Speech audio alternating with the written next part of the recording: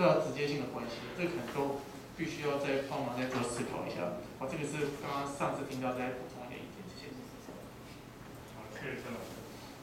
这个我也想补充一下，就是说我们这个计划实际上是在一百零三年六月，哦，就已经针对这个台北监狱围墙的遗址的范围做一个公告，并且有大概决议，哦，就是从一百零八年就开始有这个有关于考古这个，啊，第一次因为资料不够充分，所以就有今天我们可能是过程的计划，但是即使有这个过程的话，像刚刚张老师说的，并不是说他社会主义的话就开始，他还是要依照文字法，他还是要有一些东西还是要。那至于在展示的话，我想这样提出来，但是我们针对的一切，刚刚老师的意见很多都在这个去证实，当然我们这个部分还需要呃补充的啊。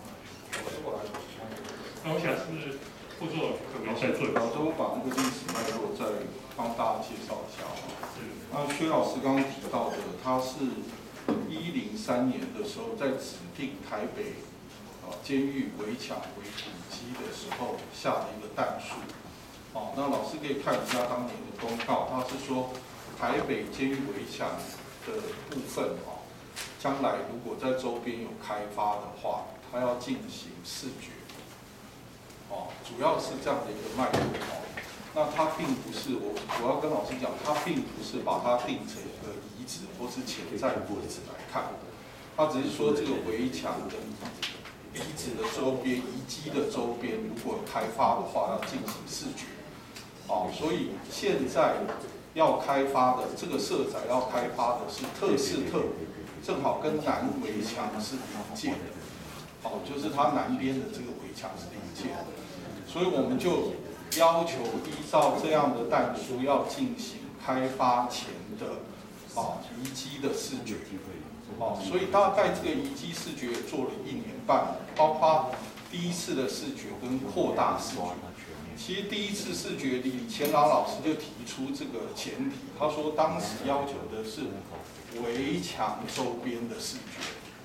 哦，那所以这一次其实挖出来比较重要的，大概 V 型沟的部分，就会纳入台北监狱围墙这个古迹的附属设施，用整修的方式在原地将来把它修完。那还留存的材料，大概就会留在那里。如果已经变形或是错位的，哦，就会尽量用相同的材料把它修回来。这是 V 型沟的部分。好。那第二个部分就是，其实希望的是，因为它的特色特比较靠南边，其实跟它那个米字形哈，就是所谓八角形的主体监狱，其实是错开的。如果各位看到那个套绘图哈，主要的米字形的监狱哈，就是像那个北海道那一种，它是在比较北边，不在特式特五上。特式特五大概都是当时的一些，譬如说附属的房子跟。呃，所谓的官舍大概在这个区域哈，那官舍这个部分现在文化局在做修复，那这个熏蒸室的部分大概是这个十五加三十四个点，后来视觉出来比较看得出来像熏蒸室，那另外有一个工厂的放脚基础，这是最主要看到的量，那其他有看到的东西，大概都是刚才照片里面比较。呃，属于损毁或是部分的，好，还有痕迹的，大概我们都把它仔细的做拍照跟列测。八百多件的遗物是从日治时期，包括前面有一些清朝的时候其实是田，也有做套绘，田到日治时期到近代哈，包括水管都把它做记录，出土的文物，但发现其实里面哈跟这个监狱。直接相关联的，现在其实还比较难以证实。就刚刚有人讲到说故事的段落，这八百多件其实很难去证实跟监狱直接有关啊。哦，所以可能那个直接的要跟大家讲的就是，其实我们在其中报告就仔细的把这些事情都向各位说明。那现在是其中的部分哈，那也跟各位讲，就是说其中的部分，其实在市府就请。将来要开发的单位提出往后，如果这一些能不能跟社宅结合的一个展示，有一点像首尔的那个世贸中心的那个形式去做。好，那在下一阶段应该做什么？刚刚大概几个老师也提到了哈，他在下一阶段就是在开发的初期，他要怎么规划一个监看类似考古监看的方式去做，好这些其他的地面层还没有处理的部分，他要提一个报告，然后再把这些已经挖出来的东西，如果将来要取决的话，他用什么功法？啊，取决不是现地的部分，要怎么取决？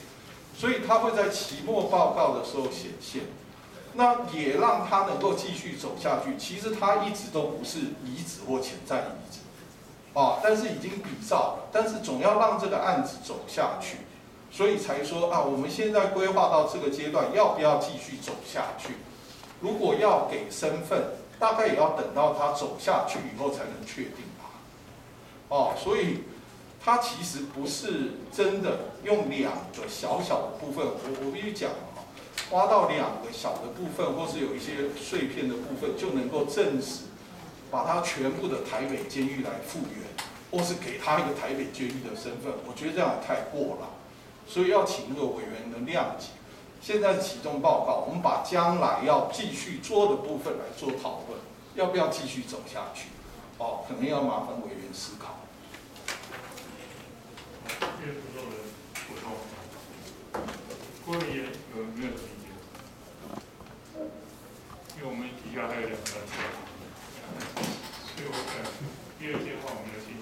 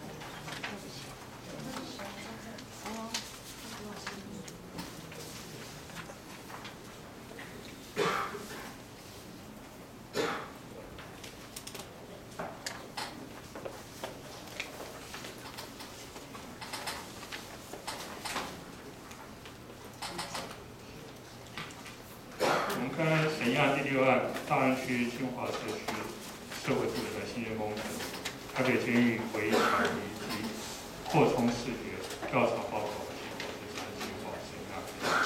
那本案委员总人数是二十三人，回避两人，出席委员是三人，一半不数委员出席。出席十一人中有两人不同意，同意人数达到出席委员过半。对于本案是同意啊，那我想这次的扩容计划，它只是我们目前的这个初步的阶段，后续刚刚工作也补充，还有后续的工作还要再进行。那以上本案就到此。啊，接下来就是本案的第七案，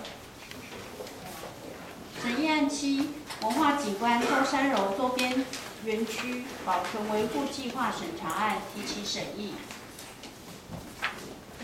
提醒：本局于一零二年十月二十日公告登录中山楼周边园区为文化景观，一零七年委托合作规划设计顾问有限公司办理文化景观保存维护计划。本局于一零八年至一零九年所召开的期初其中的公开说明会，以及期末以及咨询会议，请委员详参附件。有关文化景观内重要景观元素，宇宙楼、顺水楼、介寿塔、八卦升旗台等。本局以依《文化资产保存法》第十七、十八条启动价值审查程序，后续依文字审议结果调整本计划内的保存及管理原则。文化景观的公告、登录理由以及当初公告的保存及管理原则。本案拟办中山楼周边园区文化景观保存及管理原则修订版，提请本审议会审查，并依审议决议办理后续。中山楼周边园区文化景观保存维护计划以及计划内之作业要点审查流程等，提请本审议会审查，并依审查决议办理后续。那接下来有呃继续报告那个保存计划的内容。那因为时间关系，本计划分为四大点来做重点简报。首先，历史脉络的部分，那本区位于阳明山呃国家公，一直到日治时期，本区才开始有草山林间学校以及台湾博览会的草山观光馆。直到战后，革命时就研究院、国防部研国防研究院青春干训班的成立、发展以及变迁是本园区的核心。所以本计划整理了战后至今的空间变迁。那从一九四九年革实院成立后到一九九四年，它与呃国防部青春干训班呃两次的变迁，可以证嗯见证那个嗯党政的政治史的发展。然后另外中山楼的部分则是可以代表宪政的发展。那自二零零五年国防部撤出之后。那建物一直闲置至今，除了中山楼，还有台湾图书馆做管理。那近年的管理权责也渐渐的由阳明山国家公园管理处移交给国有财产署。那本区虽然取管单位都是公有，但权属其实偏向复杂，然后地级的分分布也比较零散。那本区的土地权属共有国有、台北市有、新北市有。然后整理出了土地管理机关及生物管理机关如下。第二章重要景观元素新增及修改建议。那除了现行的重要景观元素，已经有四处建入为历史建筑。经过现地的考察呃调查，建议新增翠湖及时舰亭，还有园区入口处阳明山庄石碑、青屯石碑，以及原本的松柏村为修正后的重要景观元素。保存及管理原则修正。那原本的保存管理是比较分散在各建物的描述。那嗯，其实各建物的详细保存方式已于本计划内有做详细的说明。所以嗯，本计划删除原定的保存管理原则，经过检讨后，重整它的精神以及重新整理后，另新增条文如下。总共新增四项条文。第一条是在说明嗯，本文化景观在建建物的建筑史以及政治史上的发展重点，应该要保留它的历史意象及呈现地点的意义。第二点，为了要保持环境的氛围，重要景观元素应该要原地保留。第三点，说明风水景观保存，呃，风水景观轴线所涉及的建物应该要做保留。第四点，说明文化景观内重要的自然景观，如温泉跟龙博，应该要做保留。文化景观核心价值分析，有关这部分啊，在本计划内做了三条轴线的分析，然后做它建筑配置与空间实轴的关系，请委员可以参考。呃，计划书第四章，就是绘制三条轴线的平面式轴图。那第三章文化景观保存维护作业要点，那中山楼的作业要点总共有六条，第一条是在说明说本。作业要点是针对园区内的建造物设施的修复修缮、维护程序所定的流程的审查事宜。第二点是呃文化景观内所涉及历史建筑跟古迹的部分，应该由司法相关办法办理。那第三点，文化景观内重要景观元素的审查程序跟办法。第四点，文化景观内的非重重要文化景非重要景观元素的建物跟设施的审查程序。第五点为管理机关应对文化景观做日常的管理维护，那定期维修的部分应该要在完成之后送回去备查。第六点，本计划范围内的建物如果做修改建的话，可以向文化景观申呃向主管机关申请经费的补助。那要点附一是申请程序的流程图。那本计划与之前已经通过的文化景观的相关计划大致相同，那唯一不同的地方是在于。嗯，这个流程呢，拟定重要景观元素适用应计划。那非重要景观元素跟环境设施的部分，则是依原本的建管或国家公园管理法规办理。那因为本区有重要的那个风水景观轴线，那所以定定了视觉景观的管制及设计原则作为参考。针对植栽地景跟园区内的设施也有做相当的规范。本区重要的建物龙博有做植栽的维护计划。另外有提供文化景观的日常管理维护与紧急应变表格，供各管理机关参考。最后再利用及后续建议。第一点，发展经营及再利用建议。因为园区内管理机关众多，地级划分复杂，在营运策略上有做各营运模式的分析的弊病，然后可以请委员参考计划书第八章，建议有，那最后的结论是建议由单一单位管理为宜。第二点，管理维护工作及权责范围建议。那本计划将园区分成四大区，将管理范围以建物作为主要标的，然后突破原本地级权属的规范。然后将建物周边的空间纳入管理维护的依据。位居文字身份的建建筑价值评估及建议。那里面接受唐米洲楼、顺水楼、八号升旗台及草山民间学校博物馆，建议进行维居价值鉴定。古迹指定文化景观登录范围的修正建议。那第一点是讲到牌楼，牌楼原本是纳入历史建筑青春国建馆的登录范围，那在本计划建议将牌楼变更为。古迹阳明山中山楼的范围内。第二，为了回应文化景观登录的风水景观的轴线的关系，建议扩大登录范围。以上四点建议，那简简报到此结束，谢。谢谢。各位委员有对针对报告。好，请。好，就是关于那个这个地区的那个。其实大家一直都说风水轴线，风水轴线嘛，可是其实它是不是真的是风水轴线，或是它其实只是景观轴线嘛？因为据我的调查哈，的确有考虑到那个景观，然后有考虑到说要跟国界就是中山楼是要跟国界有关，然后在同一个轴线上。但是这个是不是风水轴线？因为其实你真的用风水来看的话，有些部分符合，但是它也有部分。是不是完全符合风水的看法哈？所以我觉得要不要把它改成景观轴线就可以了。然后在那个实质计划里头，关于那个景观的管制哈，现在是用那个立面图的方式来画。那其实这样子不够明确，因为哈，其实所谓的文化景观的保存维护计划哈，它其实是很重要，它会作为以后所有的一个依据哈。所以除了立面图之外，是不是也在平面图上表示说哪一些范围是应该要被管制或者要特别注意的哈？所以这个部分也是要具体的出现。然后那个使用分区的建议，好有一节特别使用分区的建议。那这个部分是不是也要写清楚？就是现在的使用分区是什么？它，然后未来这样子使用分区有没有问题？有没有需要改变的地方？然后在报告书里头，它有建议新增范围，就是文化景观的范围要扩大。然后扩大的范围里头，它的使用分区哈，又应该要怎么建议哈？所以我觉得这些地方可能要稍微补充一下。谢谢。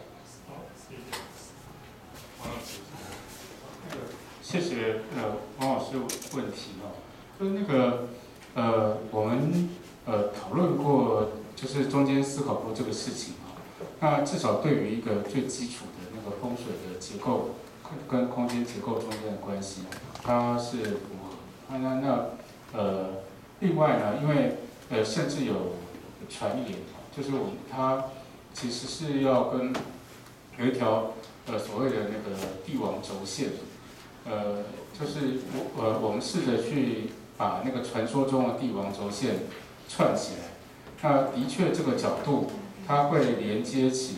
呃，从呃中山楼这边往下，然后到士林官邸，然后到圆山饭店，然后一直到呃总督府啊，就总统府这样的一个，它其实是在同一个角度上面，所以呃这个呃就这个这个是我们在进行呃计划的时候所呃找到的一个关系。那王老师建议的那个呃那个部分哈，就是平面的部分，大概就是这一张的建议。就是它的呃，它用视轴，然后作为它的那个视角六十度的范围里面，那呃，针对呃整个中山楼园区，以中山楼为呃为为呃为试呃试点的主要轴线区域呢，呃，大概我们可以看到就是那个整个打开那个六十度的部分，所以会牵涉到的大概就是国宪馆啊、圆讲堂。呃，国建馆跟圆讲堂，还有前面的松柏村，一直到呃到它的前面那个入口跟呃跟呃山凹的那个部分，但是我们只能够管那个园区里面啊，园区外面我们是管不到。虽然我们也很想要把那个沙帽山画进去，可是呃园区外面的那个部分画色部分是是看不到。那我呃我们在进行调查的时候呢，其实有发现。这比较早落成的接受馆，跟呃现在那个呃升旗台上面，它形成另外一条轴线。其实两个轴线对到的都是呃旁边的那个山跟沙帽山所形成那个凹口，就是现在大概是呃辐射角，呃就是呃整个阳山国家公园入口那个部分。那这个是大概我们那个在平面上面说明。那分区的部分呢，它是画在阳明山国家公园的的那个呃呃国家公园计划里面，它是呃是保存区域哈。那呃中间的那个呃保存区的部分，它是把里面的这一条就是呃呃因为呃就是这里面大概这这条沟渠哈，呃事实上就是呃温泉流出的沟渠。那现在这个上面有非常多的呃温泉的设施。那但是它都呃所有的温泉的设施管线啊等等，大概都在这个沟渠的下面。那呃像未来这呃他们的变动呃跟它的相关的呃的就是维护上面的的操作，当然会对于整体的空间的环境造成某一定影响。但是因为他们其实是在那个整个沟渠里面，所以呃呃视觉的部分呃并不大。我们走近的时候是一个很大的冲击，可是对于整体。大的那个结构来讲，它的冲击是少的，但以上会谢谢。好，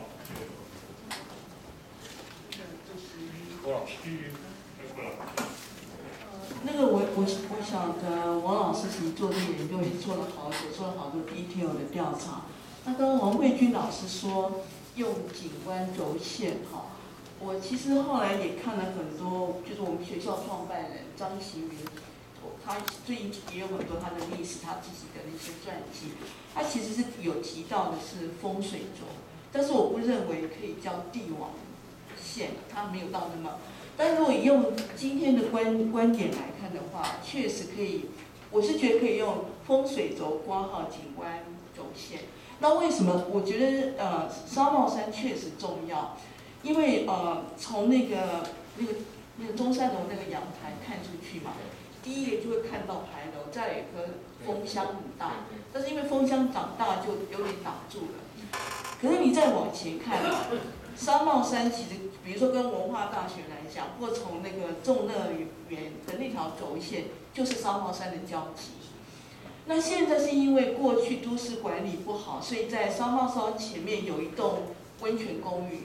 反正就白色的那一栋嘛，是，所以我觉得如果商贸山能够引入在这里面，当然也将来的管制，我觉得应该是都发局要去管制。就是说，它所有的建筑就是不应该挡住它。但你如果今天从山子后一路这样看下来的，看上来的话，商贸山是真的非常关键。包括在美军眷村哦，你看的都是商贸山。所以如果说要扩大，我是建议。商贸山可以扩大，但是后面的管制规则，我觉得都发局在建管呐、都市设计审议里面，确实应该是，而且在这个范围里面，如果要去管的时候，都发局就不要限于面积多少才要都审，反正是在我文化景观范围内，我都觉得非常关键。好，以上。好，谢谢那个主席，那个呃，我想就那个两百五十七页啊。我们的管理原则的修正的内容给一点建议。